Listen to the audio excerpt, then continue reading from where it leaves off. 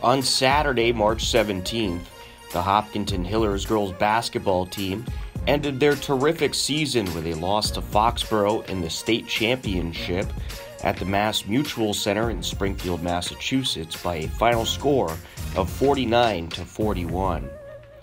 Foxborough ended the game on a 15 to 2 run and outscored Hopkinton 32 to 14 in the second half to capture the Division II state championship. Foxborough captured their first state title in 23 years, while Hopkinton attempted to capture their first since 2001. Ivy Gogolin put up a team high 15 points and 11 rebounds for the Hillers, while Regan Caveney added 9 points and 5 rebounds. Hopkinton ends an incredible season with 21 wins and 5 losses.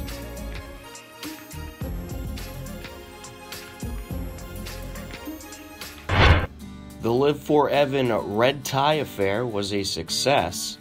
The event raised 27,000 towards the Live for Evan Fund, which seeks to provide temporary housing solutions for families of children with heart disease. The organization has helped house over 20 families from around the world who have children being treated in Boston's world class heart centers. The Red Tie event took place at the Crystal Ballroom in Milford and raised just $3,000 short of their $30,000 goal.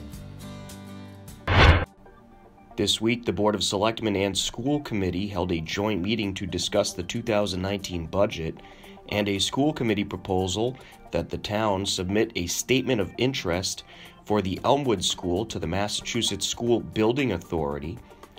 The deadline for the statement is April 8th. You can view the full joint meeting on our YouTube page, youtube.com slash hcamtv. Next year, we really have to do something a little bit better. Uh, Whether or not, whether or not the, the, the the town manager and the, and the um, superintendent get together earlier, and let's have this happen next year in, in October, November, December, as opposed to getting, as opposed to getting to this point where we're, where we're trying to find a little bit. That's where I'm distressed about And, this. and I think that you're right, I mean, that's, if you had that whole puzzle in October or November, we could piece it together much earlier. But as you said, you know, we're, we're working with theoretical numbers until, mm-hmm. we're kind of still working with theoretical numbers. Oh, yeah, So, I mean, that's a tricky piece for us to sort of wrap our minds around, but the other piece is, you know, for sure, absolutely mitigating the impact on taxpayers. I feel like that's a huge piece for all of us.